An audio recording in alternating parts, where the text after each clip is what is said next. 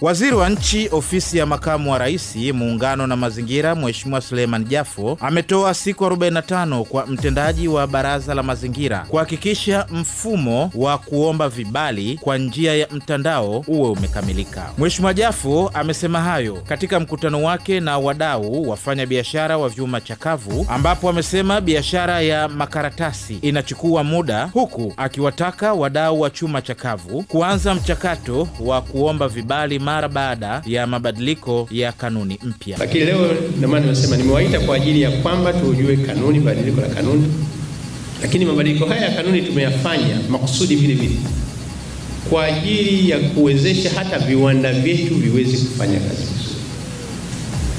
Wakati mwingine unaweza kuta mtu singine anataka kuimport bidhaa, lakini kwa kanuni za mwanzo zilikuwa ni changamoto kubwa sana kuweza kuimport bidhaa kuja nchini. Kwa hiyo kanuni hizi zimeendana na mwenendo na maelekezo za, za rais wetu wa Jamhuri ya Muungano wa Tanzania mama yetu Mama Samia Suluhu Hassan kuwezesha uwekezaji lazima usonge mbele ndani ya Jamhuri ya Muungano wa Tanzania.